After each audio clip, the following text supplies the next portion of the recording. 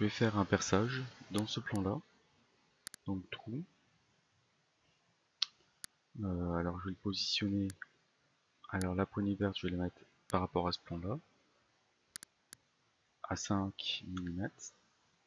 Et cette poignée là, je vais la mettre à 0. Comme ceci. On peut aussi régler ici les valeurs numériques si on veut. Donc euh, un diamètre de 6 à travers tout. Voilà. Et je valide.